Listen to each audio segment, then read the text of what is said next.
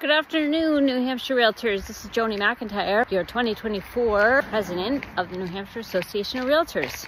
Did you know in November of this year, the National Association will be holding its annual convention in Boston? I'll be there. A lot of our members will also be going. I hope you will be too.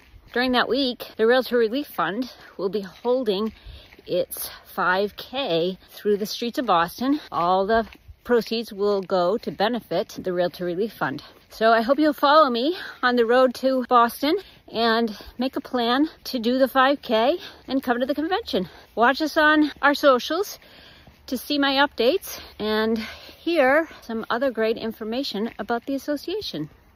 Have a great day.